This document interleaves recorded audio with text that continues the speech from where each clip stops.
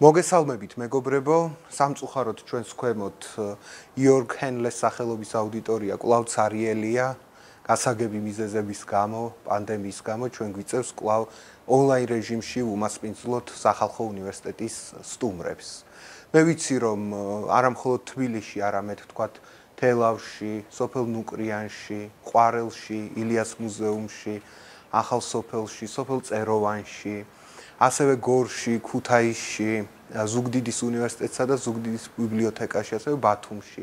არის ეს ჩვენი პატარა წრეები, რომლებიც ასევე გაფანტულად თავთავიანთი სახლებიდან მოусმენენ ჩვენს ლექციებს. და დიდი მადლობა აი ამ აუდიტორიას, რომელიც მიუხედავად იმისა, რომ ასე ერთად თავმოყრილად ვერ ხედავთ, ძალიან დიდია და მოუთმენლად ელოდებიან ხოლმე სახალხო უნივერსიტეტის ლექციებს. თან მე ვიცი, რომ დღეს განსაკუთრებით ასე ვთქვათ, გაფაციცებით ემზადებიან ლექციისთვის ჩვენი მსმენელები, იმიტომ რომ როდესაც ჩვენ კითხوارებს ვადგენთ ხოლმე, რომ აი ვის გინდათ რომ მოусმინოთ? ვისი ლექციის მოსმენა გინდა თქვენ? პროფესორი ლევან გიგინაიშვილი ყოველთვის არის ასე ვთქვათ მოწინავე პოზიციებზე. სტუდენტთა არჩევანის თვალსაზრისით და ჩვენც გვიხარია იმიტომ რომ სახალხო უნივერსიტეტის ასე ვთქვათ აი ამ აკადემიური ჯგუფის და სტუდენტების ინტერესები ემთხვევა ხოლმე. ერთმანეთს. ასე რომ დღეს მიხვდებოდით რომ ჩვენი სტუმარია პროფესორი ლევან გიგინეიშვილი, რომელიც ძალიან საინტერესო საქმიანობებშია ჩართული, იმიტომ რომ მხოლოდ საუნივერსიტეტო პროფესორობას არ სჯერდება. მხოლოდ უნივერსიტეტში არ არის, თქვათ, პედაგოგი, მეცნიერი, შუა საუკუნეების კვლევარი, ლიტერატურის კვლევარი, ქრისტიანობის კვლევარი, არამედ სკოლაშიც არის. და იქაც ურთიერთობს ახალგაზრდებთან, მოსწავლეებთანაც შეხება აქვს და ეს მე ფიქრობ, რომ ის ლექციებს ყოველთვის დამატებით ხიბლს ძენს ხოლმე. მე აღნიშნე, რომ ჩვენ გვისმენენ ილიას მშობლიურ ყვარელში, ყვარლის ილია ჭავჭავაძის სახელმწიფო მუზეუმში და ვიცით, რომ 8 ნოემბრისთვის იქ იგეგმება, იქ იგეგმება დიდი ღონისძიება. ასე რომ სახალხო უნივერსიტეტმაც გადაწყვიტა რომ ილიას შესახებ ლექციით, რომელსაც პროფესიონალი წარუდგენდა აუდიტორიას, შევერთებოდით აი ამ ტალღას, ილიას იუბილის აღნიშვნის ტალღას. ასე რომ დიდი მადლობა ბატონ ლევან ჩვენთან რომ მობრძანდით. მე ვიცი რომ ძალიან დატვირთული გრაფიკი გაქვთ და მაინც გამონახეთ დრო რომ ჩვენს აუდიტორიას შეხვედროდით და დიდი მადლობა რომ შემოგთავაზეთ აი ესეთი ყველასთვის გასაგები სათაური. ილია და ჩვენ. მართალია ეს მრავლის მომცველია, მაგრამ დარწმუნებული ვარ, რომ ძალიან ბევრ მოსწავლეს, ძალიან ბევრ სტუდენტს აღერღელს აუშლის ფიქრისა და დაიწყებენ რაღაც აი ამ დიდი საკითხების დაკონკრეტებას, როცა მარტო დარჩებიან და როცა ლექციის გააზრებას გადაწყვეტენ. ასე რომ დიდი მადლობა რომ ჩვენთან ხართ. მე შევეცდები რომ აი ცოტა საინტერესო გახდეს ასე ვთქვათ ამ კამერასთან ურთიერთობა, მარტო რო არ დაგტოვოთ კამერასთან და დარწმუნებული ვარ რომ შესანიშნავი 45 წუთი 1 საათი გველის წინ. გთხოვთ. მადლობა წარდგენისათვის, მოწვევისათვის და როცა მეკითხებოდი სათაურს რომ აი რა დავარქვათ ამ ჩვენს საუბარს, ილია და ჩვენ ყველაზე ისეთ სათაური იყო ფართ მრავლის მომცველი და ილია და ჩვენ დასაფიქრებელი სათაურიცაა, იმიტომ რომ აი გუშინ იყოს ჩემთან ერთად ლაპარაკობდით რაღაცა საქართველოსზე, ევროპა, საქართველოს, რამდენად ევროპა ვართ ამ და აი ესეთი ფრაზა ჩამოგვიყალიბდა საერთოდ, ჩემს მოთ ხო ფაქტობრივად ილიამ შეგვქნაო ჩვენ ის ხედვა საქართველოსზე, ქართულზე ილიას შექმნილია ბევრწილად იგივე რაღაცა დიდი ხედვის ქვეშ იაზრებ თავს როგორც ქართველებს და ვაშენებ ჩვენ მომავალს. ასე ასე რომ ილია თანამედროვე არის ჩვენი და მართლაც რომ ნახო ზოგიერთი სტატია ილიას ამ დაუშვათ იგივე ეკონომიკის თემაზე ან სახელმწიფოს საქართველოს მოწყობის თემაზე სხვადასხვა თემებზე თუნდაც აგრიკულტურაზე აი რომ ამოაცალო იქ მე-19 საუკუნის სპეციფიკური რაღაც და წინადადებები რაღაც ან ფორმები სიტყვებს არა იფიქრო ეს თანამედროვე დაწერილი არის დღევა დღეს დაწერილია და დღეს აქტუალური თემა არის. ნუ ილია როდი უნდა გამიხილოთ კონტექსტი ხო როდის დაიწყო ილია მოღვაწეობა ეს სიტუაცია რომ საქართველოს არის რუსეთის ქვეშ. რუსეთის იმპერიის ნაწილი გახდა 1801 წელს ალექსანდრეს მანიფესტით. რა თქმა უნდა ძნელია თქვა ეს ანექსია იყო თუ ეს ნებაყოფლობის შეერთება სიმართლე სადაც ამათ შორის არის როცა ჩვენმა ბოლო მეფემ გიორგი მე-12-ემ მიწერა წერილი რეალური არის ეს წერილი პავლე იმპერატორს რომ მიერთე საქართველოს როგორც პროვინცია. ანუ თვითონ აბსოლუტური მონარქია აუქმებდა ამ ქარკახეთის სამეფოს. ანუ თლათ ასე 100%-ით ვერ იტყვი ანექსია იყო ეს, მაგრამ რა თქმა უნდა რუსეთმა მიიყვანა აქამდე ქვეყანა რაც იყო ეს მომენტი, მაგრამ სარწმუნოების საკითხი იყო ძალიან მნიშვნელოვანი მეფისთვის, რომ მეფე ხედავდა და ეუნეოდა კიდეც თავის კარზე მყოფ კათოლიკ რუტილიანოს პადრეს რომის პაპის წარმომადგენელს, რომ აი ვიციო, რასაც მეუნევიო, რომ რუსეთის იმპერატორი მამინაცვალი იქნება ჩემი ქვეყნისთვისო და არა მოყარე მამაო. როგორც მე ვარო, მაგრამ რა ვქნა ურუსოთ წარწყდება ქრისტიანობა საქართველოსიო. და როგორც ჩანს იყო ამ სიმართლე სიმართლის ნაწილი მაინც თუ დიდი ნაწილი არა მეფის ამ სიტყვაში, იმიტომ მართლაც რომ შეხედო აი სხვაგან სადაც კი ცხოვრობენ ქართველები, ყოველს დაკარგული აქვს სარწმუნოება, იგივე ირანში, იგივე თურქეთში. მეფისთვის ძალიან მნიშვნელოვანი იყო იდენტობის იდენტობა, ქართული ქრისტიანული იდენტობა, რომ აი ასე მაინც გადარჩენილიყო, თუნდაც პოლიტიკური თავისუფლების დაკარგვის ხარჯზე. ესეთი იერარქია იყო მის ხედვაში. და რაღაც პერიოდი ქართველები, რა თქმა უნდა, ეს არ იყო მეფის გაწყვეტილება არ მიუღია ძარზე იმით ძირთად ყველა ქართულს რა თქმა უნდა იყო აჯანყებები, მაგრამ ეს 1832 წლის შეთქმულებით დასრულდა ეს აჯანყებების სერია და უკვე ყველაზე ხურვალე მონაწილეებიც კი ამ აჯანყების რაც შეურიგდნენ ამ ვითარებას, რომ ჩათვალეს რომ ეს ეთყობა ჩვენი ბედის წერა. რა რა ვქნათ, უნდა როგორც შემდეგ გამოხატა ეს გრიგოლ ორბელიანმა სიტყვა სიტყვა საქმე კი სხვა ოქროს ჯაჭვის ჯობს თავისუფლებას. ეს ოქროს ჯაჭვი ჯობს თავისუფლებას რაღაცა აქედან რაღაცას გამოვადნოთ აქედან ამ ვითარებიდან როცა მშვიდობა არის შეგვიძლია ევროპული განათლება მივიღოთ. აგერ მართლა ძალიან დიდი მოაზროვნეები იყვნენ ამ დროს სოლომონ დოდაშვილი მისი მოწაფე نيكოლოზ ბარათაშვილი რომელიც აი ამ განათლებით მოვიდნენ ესენი ევროპული აც ნაკადი შემოიტანეს ქართულ ცნობიერებაში თანამედროვე ევროპული ნაკადი. აი ბარათაშვილი როგორც ამბობს არა საფლავი მეფისა ირაკლისა გარემოებით გარდახვეწილ ჩვენ შვილთ მიდამო, ჟამვითარებით გარდახვეწილ ჩვენ შვილთ მიდამო, შემოაქვთ მუნით, ანუ რუსეთიდან განათლება და ხმასაამო, ევროპულ განათლებაზე ლაპარაკობს. იგივე დოდაშილმა კანტის ლოგიკა თარგმნა და ეს კანტიანური მომენტები ბარათალშვილთანაც არის.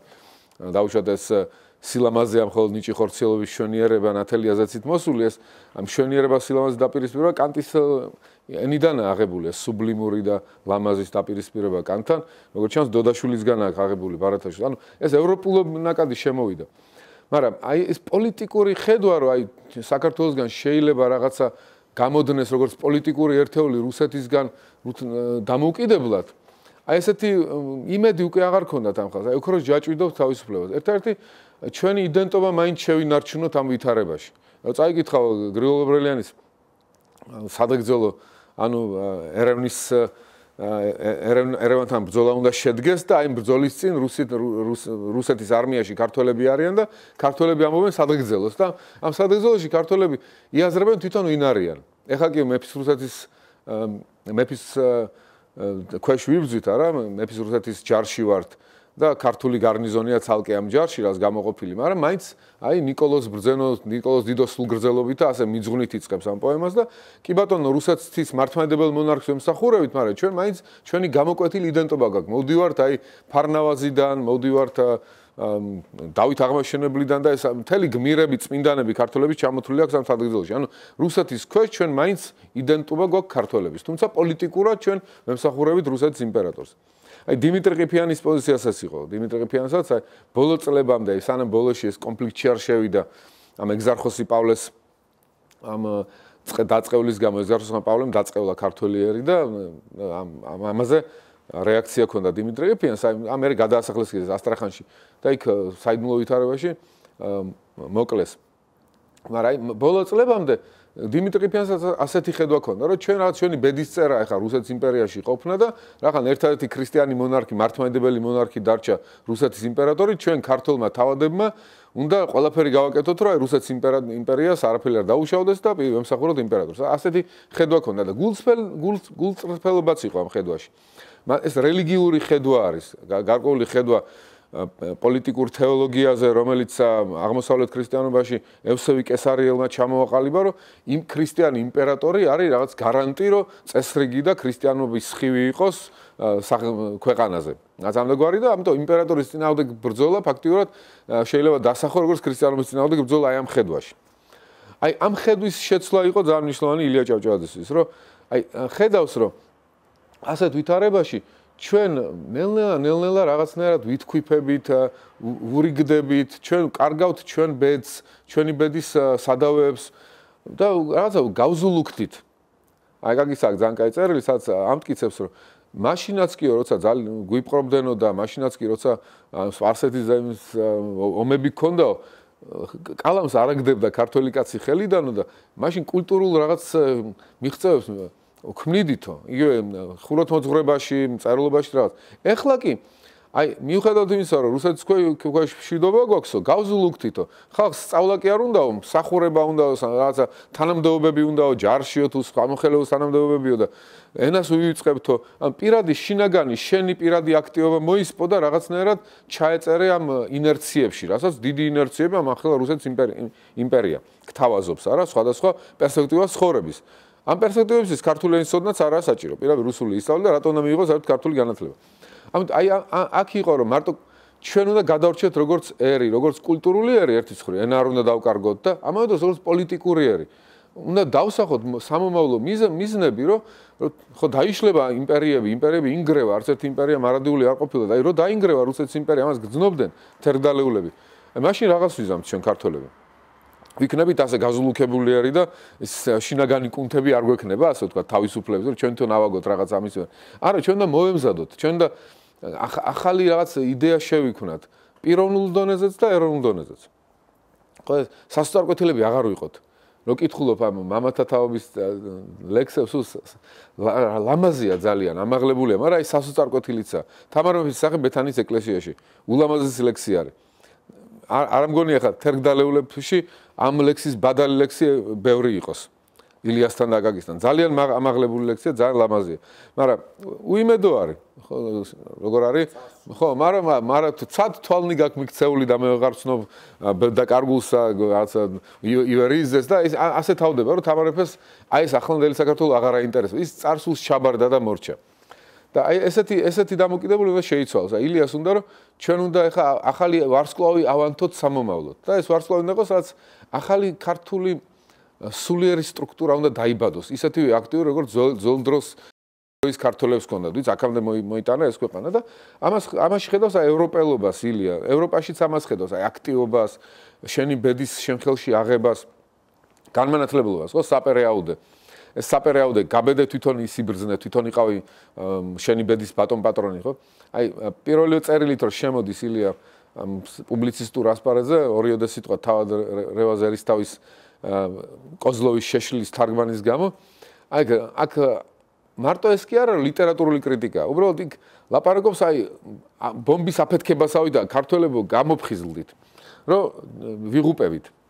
ჩვენ უნდა არ ვიყოთ მინდობილი სხვაზე. ჩვენი ბედი ჩვენ ხელში უნდა ავიღოთ. სულიერი სტრუქტურა უნდა გქონდეს ისეთი რომ სხვაში კი არ ვეძებდეთ ზამზარულ პასუხებს. ანუ ჩვენ თვითონ უნდა წაიტეხოთ ხვირი შენ თვითონ დაეძებო შენი უკვდავების ღირსი ცხოვრება.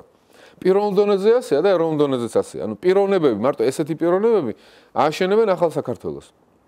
და ილიას აი თვითონ თავის თავით აჩვენებს, რომ აი მეც მინდა, მე ვარ ეგეთი პიროვნება, მე მინდა ეგეთი აქტიური ვიყო და არ არ ჩამოვეკიდო ამ ჩვენი წინაპრების რაღაც დანატოვარს მარტო, იმიტომ რომ მაშინ დავიღუპებით. მოდი, ახალი შევქნა, სრულიად ახალი რაღაცა. ამიტომ ეს ენის რეფორმა ამისთვის მნიშვნელოვანი რომ რა არის სრულიად ახალი?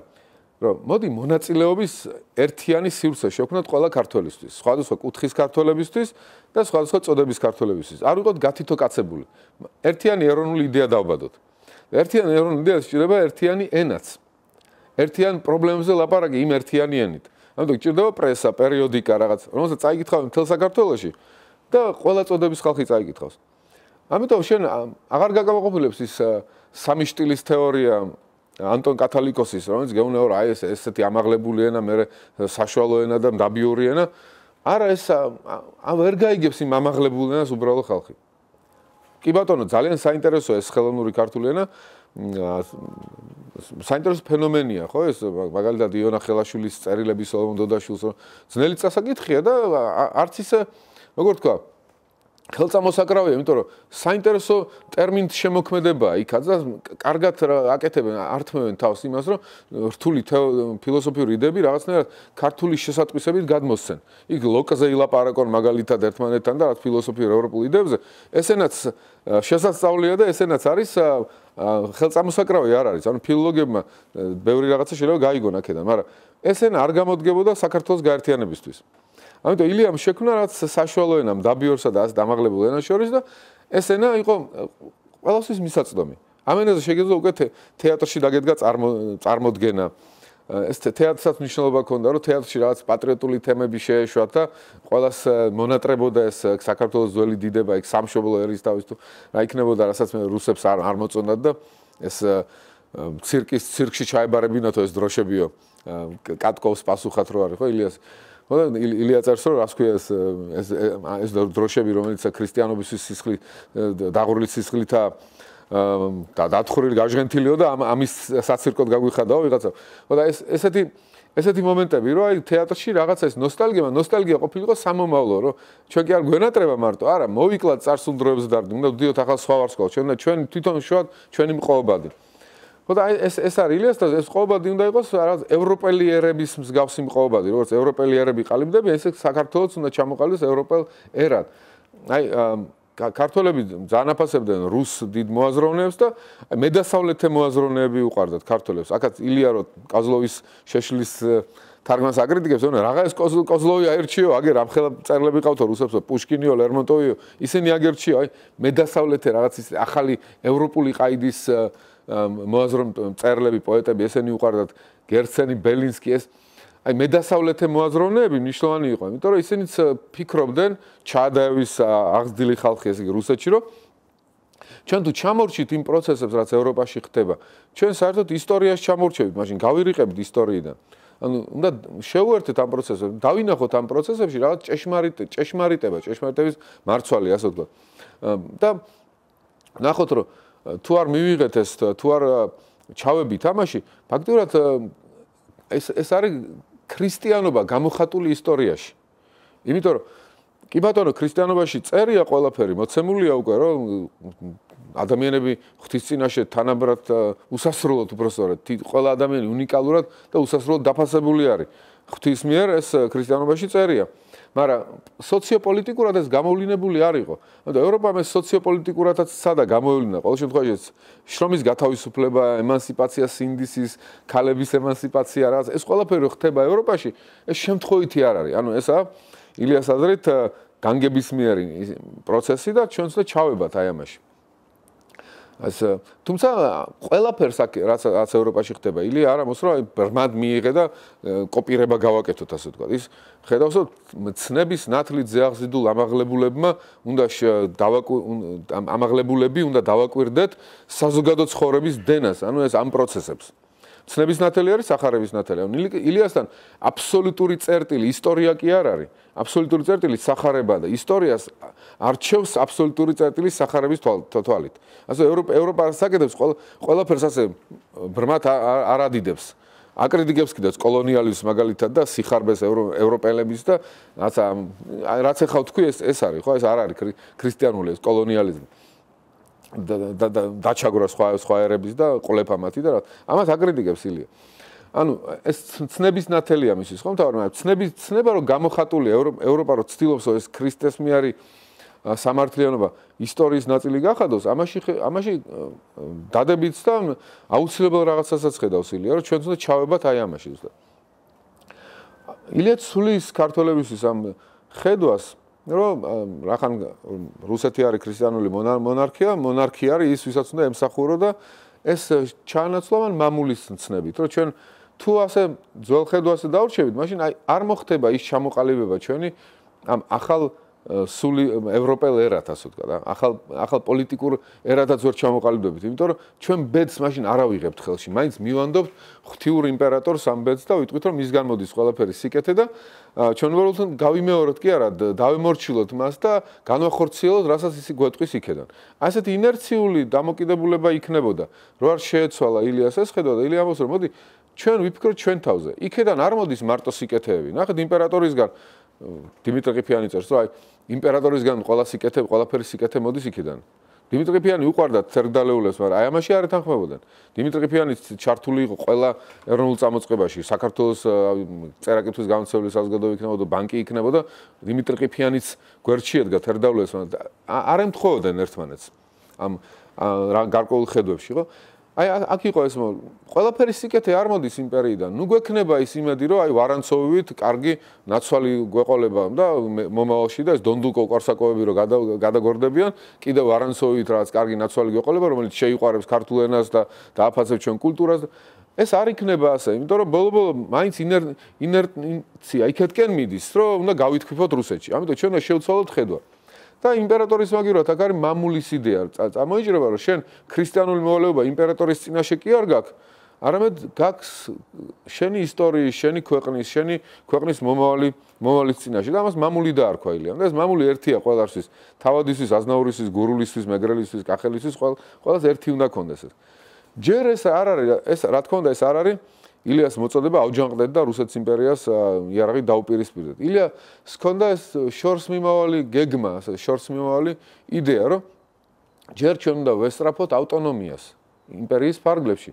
და მე 100 წლის მერე შეიძლება უკვე დამოუკიდებლობაზეც ვიფიქროთ, მაგრამ ნახე და თვითონ სულ სწრაფი კი არ იყო. მე მოვეს რომ მაინც მაინც და მე ვიყო ამ ამ არა ის ხედავ და მას უნდა თუ გიყვარს შენ რაღაცა, გინდა რომ ის რაც გიყვარს იყოს კარგად და არა შენ. შენ თვითონ და არა ეგოისტურად გინდა რა ილია ხედავდა რომ მოდი მე მინდა დაიბადოს დამოუკიდებელი ქართული სახელმწიფო მაგრამ ეს შეიძლება ჩემს ცხოვრებაში არ მოხდეს 100 წლის მერე შეიძლება მოხდეს მაგრამ ჯერ უნდა შევამზადოთ მაქსიმუმ უნდა გავაკეთო რომ ეხლა ეხლა მაქსიმუმ უნდა გავაკეთოთ იქეთკენ თან კონტექსტსაც ხო აცნობიერებ და ხო ბევრს უჭირდა თქვა ამ კონტექსტის გაცნობიერება. მაგალითად რომ დავაკვირდეთ ჩემი აზრით 32 წლის აჯანყების თუ შეთქმულების ცდელობის მონაწილეებს. აი რო გამხდარიყო ეს აჯანყება რო წარმატებით დასრულდა. არ ქონდათ წეს იდეები არ ქონდათ. როგორია იყო მზად აი ამოგლეჯილად საქართველოს რო იქ რაღაც თავისუფალი სახელმწიფო შექმნილიყო და აი ილია მე მგონია ხედავდა როგორი იყო მაშინდელი სოფლიო და ზუსტად ამჩნევდა იმას, შეძლებდა თუ არა საქართველოს დამოუკიდებლად, აი ისეთ მე-19 საუკუნის ვითარებაში გადა. კი ბატონო, 32 წლის შეთქმულებებთან შეთქმულებთან არც ქონდათ ძალიან კაფიო აზრი, რას აპირებდნენ ზოგი ბატონიშვილის დაბრუნებას აპირებდა თურქეთიდან, ზოგს რესპუბლიკა უნდა და აგერ ორბელიანს უნდა და რესპუბლიკა, არა? და ესეთი სუმბურული ხედვები იყო, ამიტომ ეს ჩაფლავდა ეს ჩავარდა ეს აჯანყება, ხო, მარტო იასე ფალანდიშვილმა გათქვა, მაგრამ მაინც ალბათ არც ქონდა ასეთი მომავალი თუ ასეთი განსხვავებული აზრები იყო. თან მაშინ ისეთი საყოველთაობა არ არსებობდა, რაზეც თქვენ გაამახვილეთ ყურადღება, ხო? ილიამ აი ისტორიერი უნდა გაგერთიანებინა. თელიერი უნდა გაგერთიანებინა, უნდა შეგექმნა ახალი ქართოლიერი და ილია ხელოს აი რითი შექმნა და აი ამ ივერი საქართველოს მოამბით ამ ნაწარმოებებით მათი ყველა ნაწარმოები ეს ხატრული ლიტერატურული ლექსები იქნება თუ მოთხრობები იქნება თუ რომანები იქნება პუბლიცისტური არის. იმისთვის არის მისაწვდომი გახადოს ეს ახალი ეროვნული პროექტი ილია. იგივე კაცი ადამიანი. ამაზეა რომ ფუნქცია დაკარგული ქართველი. რომელიც გაზულუქებულია უკვე. შეიძლება ლუარსავი კაცი ადამიანი მართლა ავთანდილი ყოფილიყო და ავთანდილზე არის ნათქვამი კაცი ადამიანი რუსთაველთან შეიძლება ლუარსავი ავთანდილი ყოფილიყო რომ იმ კონტექსში ხმალი და რაცა მოემარჯვა და ვინ იცის მაგრამ დაკარგული აქვს ეს ფუნქცია. ამიტომ დეგრადირდა. ავთანდილიდან ავთანდილიდან ლუარსავი ლუარსავი ჩამოვიდა ხო? და თან ეს სასაცილო ადგილებიც აქ ამ ნაწარმოებში ძალიან ძალიან დიდი იუმორი აქვს ილია ჭავჭავას არ შეიძლება ისეთ ხალასი იუმორი აქვს რომ თვითონაც ძალიან ერთობოდა როცა ასეთ ნაწარმოებს წერდა და დარწმუნებული ვარ. ამ ამ ჩიხერთმა ბოზბაშის თუ ბუზების დათulis ეპიზოდებს მარტო გართობის ფუნქცია კი არ აქვს გაჩვენებს რომ ლუარსავი ხედავს რომ კაცის ფუნქცია თუ დაკარგულია ოჯახში და დარეჯანსა აქვს უკვე აღებული რაღაც უპირატესობა მაშინ რაღაცით მაინც ხონდა დამტკიცო რომ კაცია. ამიტომ მოიგონებს რომ კაცის გონება სხვა არის და ქალის გონება სხვა არის და კაცის გონება შეუძლია თუნდაც პირდაპირ ეგრევე გითხრას ამდენი ბუზის ჭერზე. ამიტომ ამით უნდა რომ ამით მაინც რაღაც აჯობოს დარეჯანს და სასუწარკვეთილი არის უარსაბი რომ აი ქალი ჯობნის ოჯახში და ფუნქცია არა, გიზედი რიც აჩვენებს რომ აი მე ვიბზვი და ამით მაინც გჯობი ვარ. შენ ხო ხმალი არ გიჭირავს და ეს ხმალი აღარ უჭირავს უკვე ხელში. ამიტომ ის ჩიხრთმა და ბოზბაშის ეპიზოდი არის გადამტეხი ეპიზოდი, როცა პირველად ცხოვრებაში ლუარსავა მოახერხა და დარეჯანს აჯობა კამაჩი. მაგრამ ისიც ვერ შეერჩინა ბოლომდე მგონი. ხო და აი ეს ესეთი მომენტია რა რომ ქართველებმა დაივიწყეს რომ ცხოვრება არის ამოცანა რომ შენ ცხოვრებაში უნდა ესტრაფო რაღაც რეალიზაცია ადამიანურ რეალიზაციას და ადამიანურ რეალიზაცია როგორცა ილია ჭავჭავაძესთან რომ შენ გინდოდეს დაემსგავსო ღმერთს ისეთი სრულყოფილი იყო როგორც ღმერთი ანუ შენ შედიხარ ეკლესიაში ლუარსაბს ეუნება რა ავტორი ჩაერთვება უცებ ავტორი თავისი მონოლოგი და კი ბატონო მარხვას იცავ წირვალოცვას არაკლდებიო აგერ ლოცვას არ არივიწყებ ჭამის წინო მაგრამ ეკლესიაში რატო დადიხარ? თავარი იქ რისთვის რა არის? ეს არისო თავარი იქ არისო იყავი სრულ როგორც მამაშენიც და ის სრულ არსო და შენ ამ სრულყოფისკენ გზაზე საერთოდ არ ხარ კმაყოფილი ხარო და ქრისტიანი კმაყოფილი არ შეიძლება იყოსო აი ეს ქრისტიანი კმაყოფილი არ შეიძლება იყოს ილიას გადმოტანილი აქვს სოციალურ პლანშიც. ასევე არ მარტო ის რომ გავუშვათ შენ ასკეტი იყავი და გაშორდი აქაურობას და იქ განვითარდი ქრისტიანულად. ეს იყო ადრე. კი ბატონო ილია აღიარებს ამ მონასტრების კულტურასაც და ათონის ქართული ქართულთა სავანერო წაიგითხო მისი სტატია ნახავ როგორ აფასებს იმ ბერებს რომლებმაც ქართული ფაქტობრივად საქართველოს მოიყვანეს აქამდე არა? მაგრამ ილია ხედავს რომ აი ახლა საჭიროა სხვა ტიპის ქრისტიანობა? ესა სხვა ტიპის ქრისტიანობა.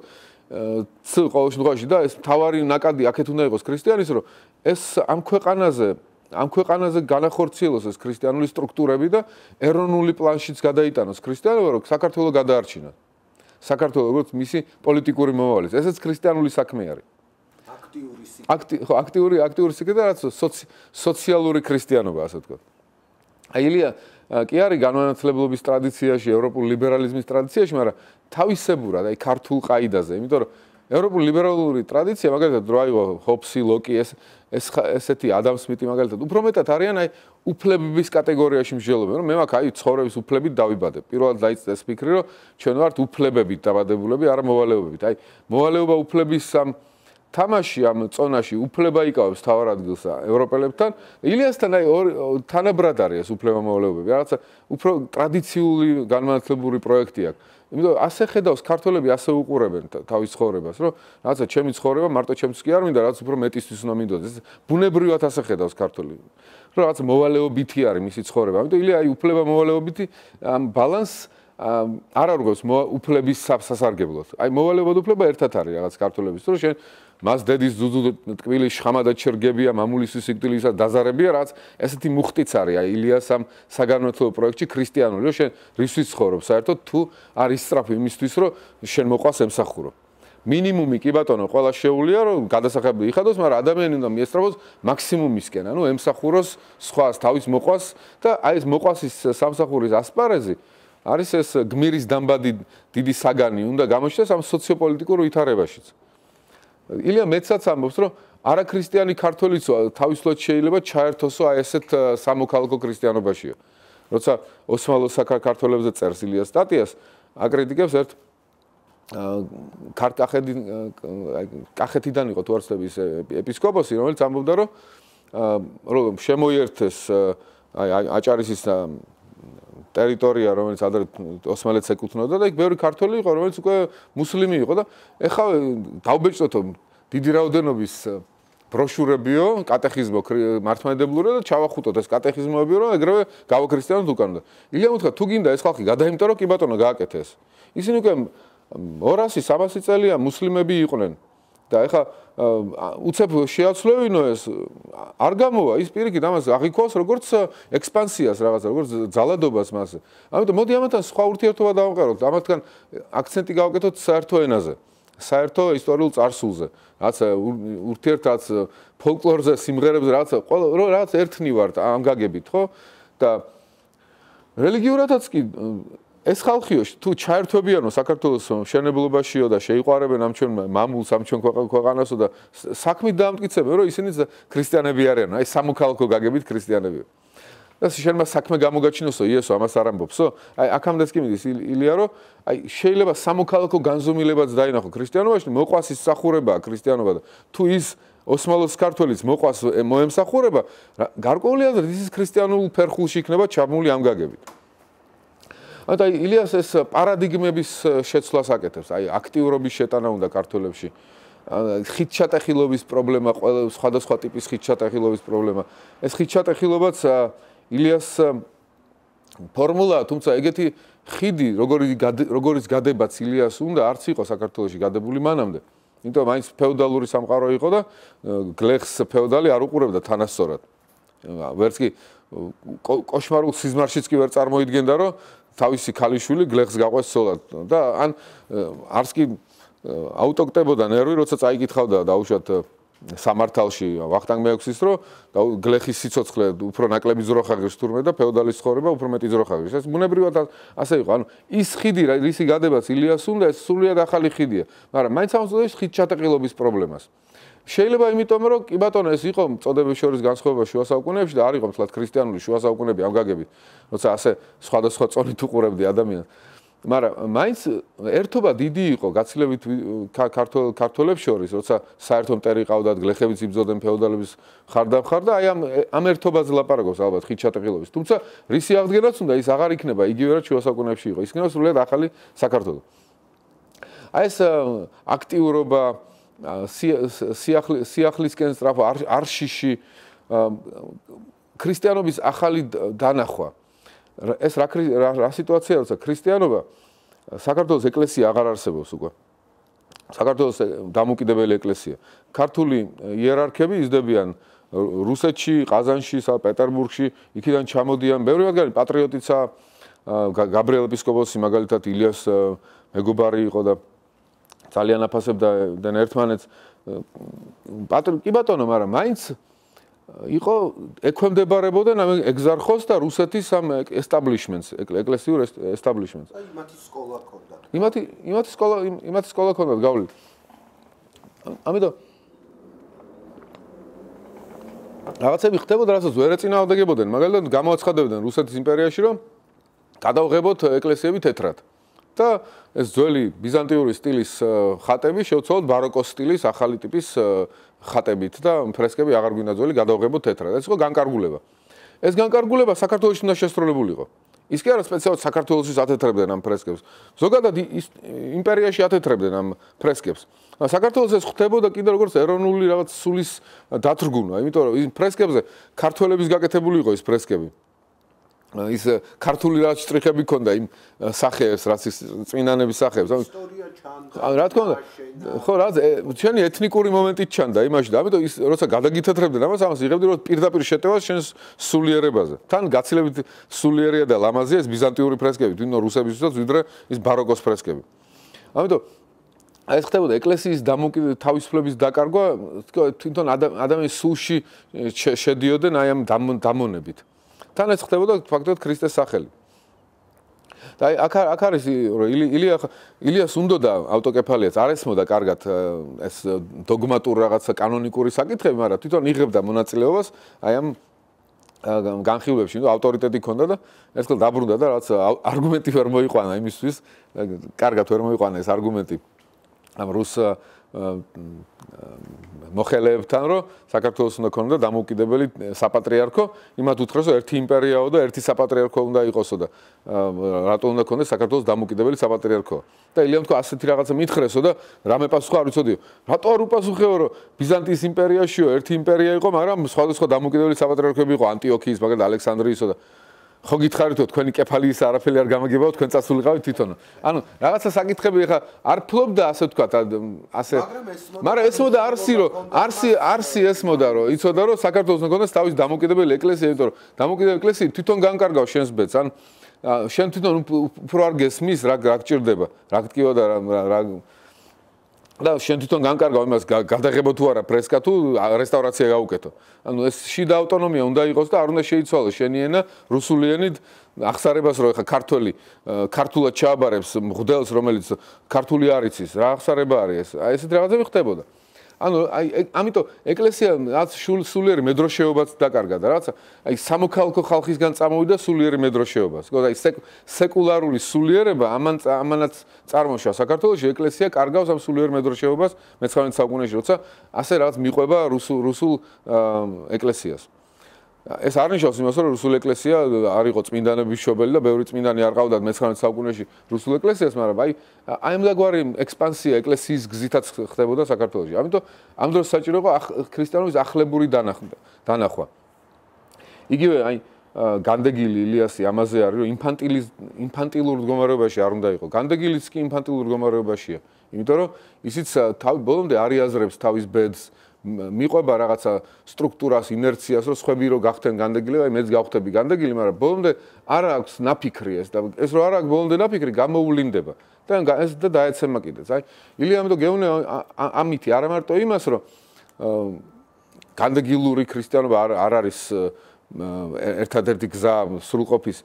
ესეც არის. როგორც ჩანს იქ ილია და აკაკისაც თავის თორნიკერის თავში აქ ამაზე ლაპარაკი ხო რომ ასე განშორება ამ ქვეყნისგან შეიძლება იყოს არა როგორ თქვა არა ვაშკაცური ასე ვთქვა განდგომა მიწიერი ფასეულობების ან ფსის ფსის სახურება როგორც ტრადიციულადა ანუ შეიძლება ტრადიციულად იყო გაგებული ანუ შეიძლება ამაში იმალებოდეს პირიქით სულ მოკლეობა რომ შენ დანებდი აქ ყოფილ აქ არსებულ ბოროტებებს არ გაუმკლავდი მათ და გაეკეცი ამიტომ ამიტომ ესეც არის, მაგრამ მეორე მეორე მომენტია, რომ ბოლომდე არა გაქვს ნაფიქრი შენ, ბოლომდე უნდა იფიქრო ის, რასაც აკეთებ და იმას არ ქონდა ბოლომდე ნაფიქრი და ამიტომ სასწაულს ეძებ და სასწაულს თუ ეძებ, ესე იგი შენ ინფანტილური ხარ ჯერ კიდევ, გარეთ ეძებ რაღაცა შენი გადაწყვეტილების დადასტურების ნიშანს და შინაგანად არ ახარ დარწმუნებული. ამიტომ აი ილიასეს ევროპული პროექტი ქართველებისთვის არის როგორც ეროვნული, ისე პიროვნული. პიროვნულად პასუხისგებლიანი ადამიანები ააშენებენ ახალ ახალ ქვეყანას, სადაც შენ შენი თავი შენადო გეყუდნის, როგორც პიროვნულ დონეზე, ისე ეროვნულ დონეზე.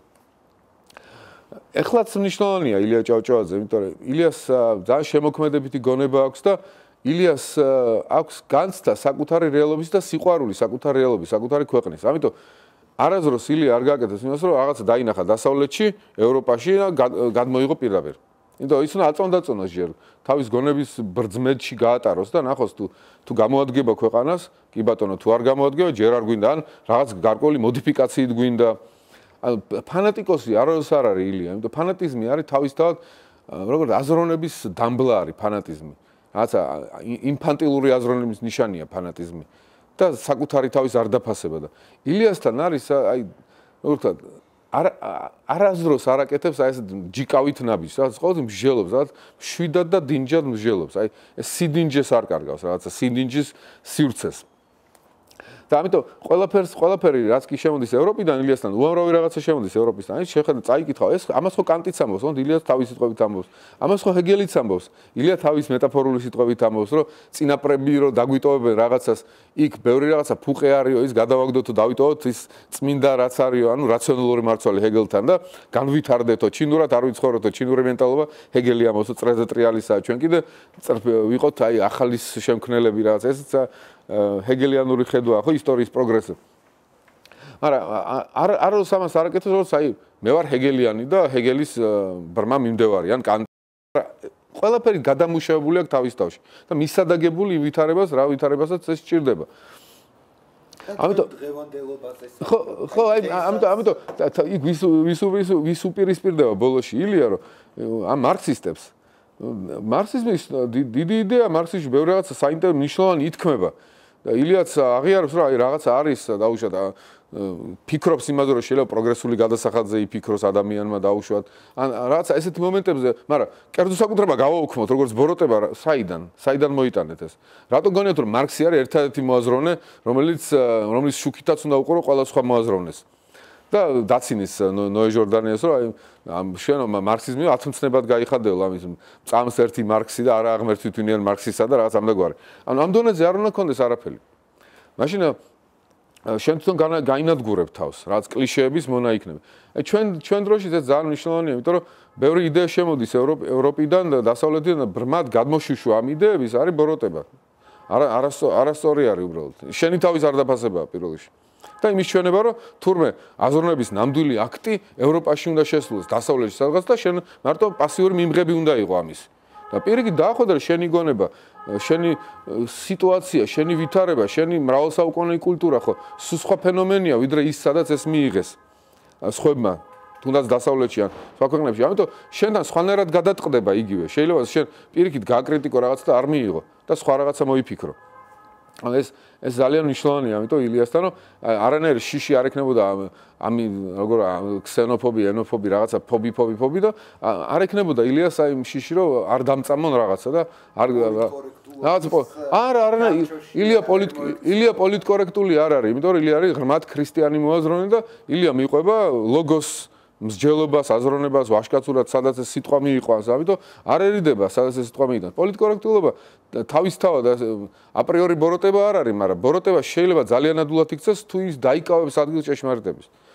პოლიტკორექტულობა შეიძლება დელიკატური უნდა იყოს, რა თქმა უნდა, აუცილებლად დელიკატური უნდა იყოს და ქრისტიანული უნდა იყოს. პოლიტკორექტულობა, რომელიც გულისხმობს, რომ მე რაღაცა არ თქვა ან რაღაცა მიუჩქმალო ჩემ თავშივე და მეშინოდეს ჩემ თავშივე, ჩემ თავს გაუტყდე რაღაცის თქმაში და მსჯელობაში, ეს არის უკვე შინაგანი პოლიციელი, რომელიც სინდის სინდის გუდავს ადამიანში. აი ილიას ეგეთი არა, ილია ის პატარა ღმერთი, რომელსაც ჩვენ სინდის უწოდებთ, უნდა იყოს მთავარი ჩვენში. ამაზე ხდება აგება ჯანსაღის საზოგადოების. და ის პატარა ღმერთი რომელიც ჩვენში სინდის უწოდებთ თუ პოლიტკორექტულობის მსხვერპლი გახთა მაშინ რაღა განვითარება იქნება ან პიროვნული ან ეროვნული. მე მნიშვნელოვანია ძალიან ეს თანამედროვე ევროპა თანამედროვე პოსტმოდერნულია უკვე ამას ახალი სინთეზი ჭირდება. ილიას ილიას ევროპა მოდერნული ევროპა იყო უფრო ოპტიმისტური დიდი ნარატივის ქვეშ განვითარება რომ ყველაფერი კარგი ხდება ეხლა და რაცა. ძალიან ნათელი გაჩახჩეხებული სურათი იყო. ეხლა ესე აღარ არის ეხლა ევროპა პოსტმოდერნულია თავისი კრიზისებით ამ კრიზისების შეფასება ჭირდება. და ამიტომ მიდიხარ ევროპისკენ ასე უნდა გაიაზრო ეს ყველა კრიზისი. შენი თავი უნდა გაიაზრო.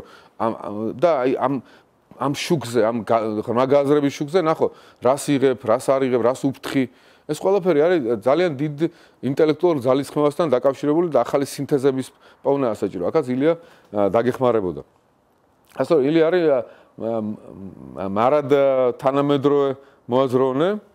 მისი ეს ნაწერები თუ მითხარ არა მარტო იმის კონტექსტუალურია და ქართოლიერი გადაარჩინა ილია. ანუ თავისთავად ძალიან ჰუმანურია და თავისთავად არის ძალიან ქრისტიანული ჰუმანური მესიჯი ყველა მის ნაწარმოებში და ეს არის ზოგადად მარადღირებული და ზოგადკაცობრიული ღირებულების. და ამ დროს თანამედროვე ქართველებისაც ღირებულია, იმიტომ ჩვენ დღესაც ვეძებთ ჩვენ გზებს ევროპისკენ, ჩვენს სულიერ სოფხედულობრივ რაღაც ადგილს ვეძებთ სოფლიოში და რაღაც აი ამ ამ ფიქრებში ვართ, ამ მისტრაფებებში და აქ ილია ძალიან დაგვეხმარება რომ ღრმად გავიაზროთ ყველაფერი და არ ვიყოთ ასე ინერტულები არ ვიყოთ. გინდა რუსეთის მიმართ გინდა თუნდაც ევროპული იდეების მიმართ ყველაფერი გადავამუშავოთ და ჩვენი ქვეყნისთვის სასარგებლო დასკვნები მივიღოთ. კიდევ ვიცით რა არის ილიასთან დაკავშირებით ძალიან საინტერესო რომ აი ყველა იმოწმებს ილიას. ყველასთვის ძვირფასია. აი მაგალითად ჩემს ირგვლივ არიან ადამიანები რომელთაც მე პატივცემ როგორც მოქალაქეებს, მაგრამ აი მათი იდეები ჩემთვის კატეგორიულად მიუღებელია. ისინიც ილიას მე მინახავს ერთ ერთი მიმტკიცებდა ილიაო ქრისტიანი კი არისო ის თამაშობდაო ქრისტიანობასო?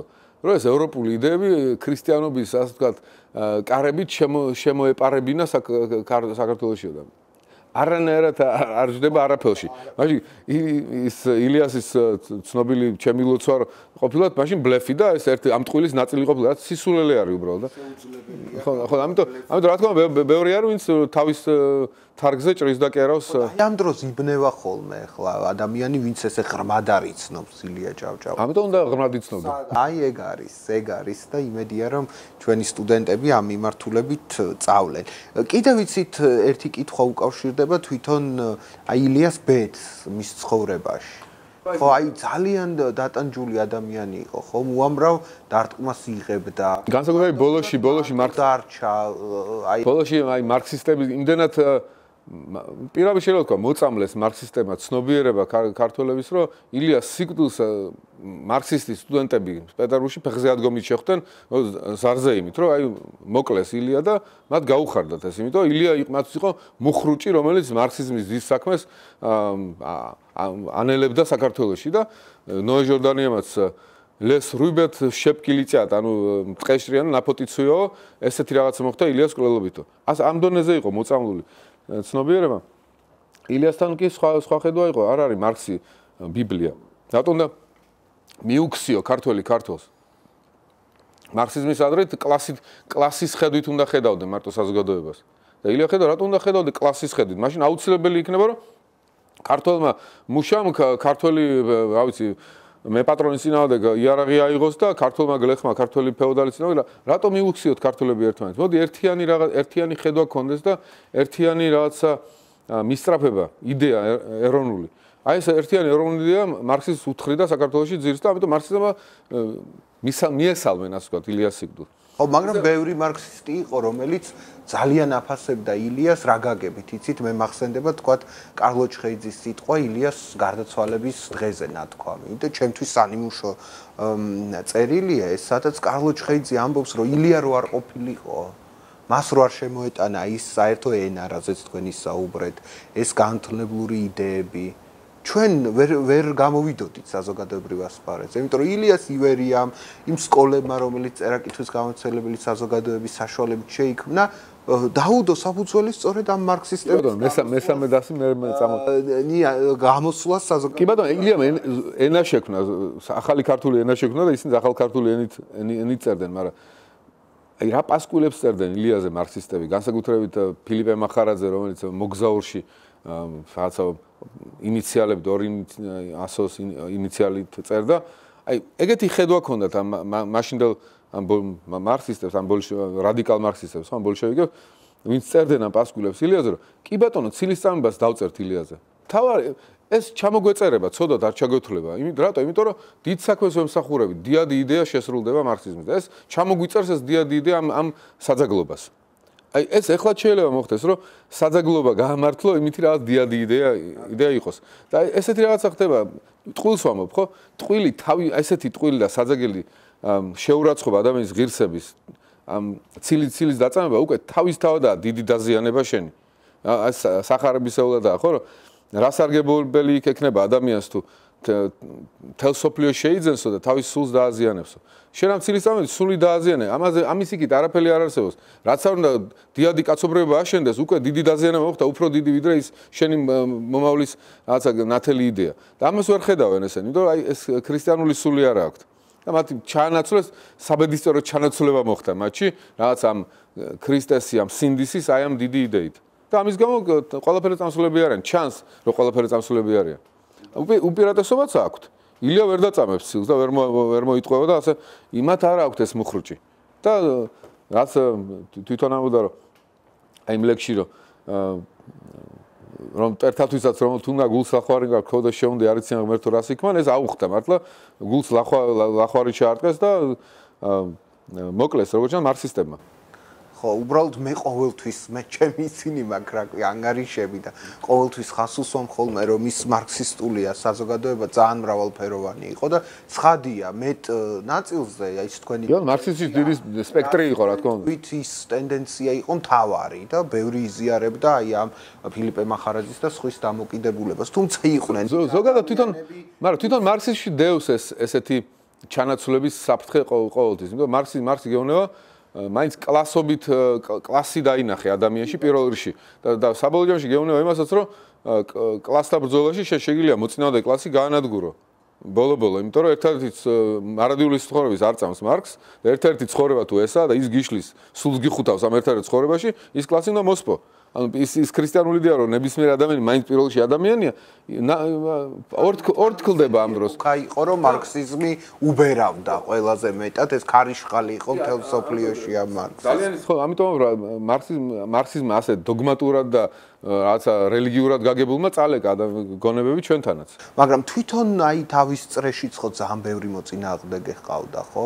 და ბევრი კონფლიქტი ჰქონდა ილიას, ხო? დიკო ნიკოლაძესთან და სხვებთან. მე არ ვამბობ პიროვნულ კონფლიქტებზე, აი რაღაც აი მუხრუჭად იქცნენ იგივე ეს მეორე დასელებიც ხშირად. კი ბატონო ნიკო ნიკოლაძესთან დუელშიც იყო დუელშიც მოუწია გამოსვლა, მაგრამ თვითონ ამბობდა ამაზე რომ მაინც ეს მედან ნიკოსოს იმდენად გიყვარდა საქართველოს დუელშიც და სხვადასხვა ხედვები ქონდაო, მაგრამ იმაზე შინაგანი პატიოსნება ქონდაო, ჩვენ დუელში გამოვიწვიეთ ერთმანეთიო და ესენიო დუელში არ გამოგიწევენო, ზურში გესრიანო. იმიტომ რომ ეს ეს ქონდა წაშლილი სინდისი ჩანაცვლებული ამ რაღაცა დიადი იდეით, რაც ყოველთვის ხდება კაცობრიობაში. გასაგებია. გასაგებია. დიდი მადლობა ბატონ ლევან და მე დარწმუნებული ვარ რომ ჩვენი მსმენელები მოусმენენ თქვენს ლექციას მონდომებით, ეკნებათ კითხვები და მე მე მოგაწოდებთ ამ კითხვებს რომ იქნებ არ დაგზარდეთ და გვიპასუხოთ და დიდი მადლობა რომ აი შეგვახსენეთ ილია ჭავჭავაძის აი ესეთი მნიშვნელობა ჩვენთვის. ბევრი საუბრობს ილიას მნიშვნელობაზე, არის თქვათ ქებადიდება, ხოტბის შესხმა, მაგრამ აი ესე გააზრებულად თუ როგორ შეცვალა აზროვნების ფორმა, როგორ შეცვალა ცნებები, რომელზეც საზოგადოება მუშაობდა, როგორ ჩართო ამ საერთო ეროვნულ იდეაში ყველა ფენა და როგორ შეუწყო ლიტერატურით, ენის რეფორმით, სხვა ყველა ამ გზით, მთელი ერის ენერგიის ამუშავებას ხელი. ამაზე ძალიან ცოტა საუბრობს და აი კარგია რომ თქვენ შეგვახსენეთ ეს. ილიას კითხვას აქ რაც ილიას კითხვა არის შენ გასწავლის პასუხისგებლიან 7 დინ ჯაზრონებას. ილიას კითხვა შეიძლება არ დაეთანხმება, მაგრამ ხედავ რომ როგორი 7 და სტილში ხდება ეს აზროვნება. ხან-ხან იუმორს იყენებს, რომ აბსურდო აბსურდი განახოს რაღაც იდეის ზან ეფექტურად, მაგრამ სასეონო მისი კითხვა შეიძლება რომ არ ეთანხმება, მაგრამ ხედავ რომ აი ამ მეთოდით უნდა იაზრონო. ორი მეთოდი აზროვნების. თან კიდევ ვიცით რა იყო მნიშვნელოვანი ჩემი აზრით თქვენს მოხსენებაში, რომ აი ქრისტიანობა დაგვანახეთ აი ესე სხვადასხვა ფორმით, რომ ის არ არის ქრისტიანობა, არ არის მხოლოდ ჩაკეტილი განდეგილის ტიპის ცხოვრებაში. შეიძლება ქრისტიანობას კონდეს აი ესეთი აქტიური სიკეთის სახე, როგორიც მას ილია ჭავჭავაძე მისცა, ეს სოციალური შინაარსი და ესეც ძალიან დეფიციტურია ჩვენ. ილია აღიარებს, ილია აღიარებს განდეგილური ქრისტიანობის მნიშვნელობასაც, ამიტომ ათონის ქართულთა სავანე სტატია რომ მოვიყვანე და ამ ამ განზომილებას ქრისტიანობაში შეიძლება ადამიანმა უღალატოს თავის სინდის და შეიძლება მისთვის ეს კი არ იყოს რაც გიორგი თაწმინდელი ესენი აკეთებდნენ დაუშვათ. ეს მისთვის იყოს გაქცევა რეალობისგან ანუ სულ მოკლე დანებება იყოს და ამ ასეთი ადამიანი არის ინფანტილური ილიასთვის. და მეტიც რომ ახალმა ეპოქამ მოიტანა შესაძლებლობა რომ ის სოციოპოლიტიკური რეალიაც შეცვალო ქრისტეს ცნებების მიხედვით. ამიტომ რატო არ უნდა გამოვიყენოთ ეს და რატო უნდა ჩავებათ ამაში როცა მსგავს მოვლენებს ხედავთ დიდ მოვლენებს ევროპაში ამიტომ ეს ახლაც ნიშნავია. და რაც მთავარია ბოლოს ამითი დავასრულოთ, რომ აი ყველაზე მთავარი რაც ილიას ილიას თვალსაზრისით დავინახეთ დღევანდელი ლექციიდან, არის სწორედ ეს კრიტიკული გააზრება ნებისმიერი იდეის, ყველაზე პროგრესული იდეის და მისი მორგება აქაურ რეალობაზე, ეროვნულ კონტექსტზე და ნიადაგზე. ეს ძალიან მნიშვნელოვანია. ეროვნული ილია არ არის ეროვნული ნიჰილისტი. შენ თუ იღებ ყველაფერს დასავლეთიდან, საიდანაც არ უნდა იყოს, შენ ამითი ფაქტობრივად აცხადებ რომ მე არარაობა ვარ. ნული ვარ და მოდი ერთიანი სხვა მიმიწეროს ასე ვთქვა რაღაც პროვინცია ხო. და ილიასთან იყო ილიასთან იყო დიდი აქცენტი იმაზე რომ შენ დაუკვირდი რამხელა კულტურის წარმომადგენელი ხარ. რამხელა რაღაც გააკეთე შენმა წინაპრებმა. რა გოლიათების მხრებზე ვდგევარ და აი ეს ესტაფეტა ესტაფეტა უნდა გავწიოთ მომავლისკენ ამიტომ შენ შინაგანი ღირსების განცდით უნდა მიიღო ყველაფერი რაც ევროპიდან შემოდის დაუშვა და ევროპელი უნდა გახდეს შინაგანი ღირსების განცდი და არა როგორც რაღაცა არაფერი და ყველაფერი ის არის. აი ეს ამიტომ დღესაც შეიძლება ასე ნიჰილისტური განწყობები იყოს. მეორე მომენტია ბრმა ტრადიციონალიზმი. ამის მოწინააღმდეგეც იყო ილია. რომ მარტო ჩვენ წვენში მოვიხარჩოთ და მარტო რაც გვაქვს იმით დაკმაყოფილოთ. არა ილი არის ოქროს შუალედი ბრმა ტრადიციონალისტსა და ასეთ ნიჰილისტურ ნოვატორობას შორის. გასაგებია. მოკლედ ბევრი გვაქვს საფიქრალი და დიდი მადლობა რომ ესე გაგვიშალეთ ესეთ მოკლედ დროში ამდენ სერიოზულ თემას შეეხეთ და მოკლედ ჩვენ მომავალ წელსაც შევეცდებით ტრადიცია გავაგრძელოთ და კიდევ გიმასპინძლოთ ჩვენ სახალხო უნივერსიტეტში. დიდი მადლობა.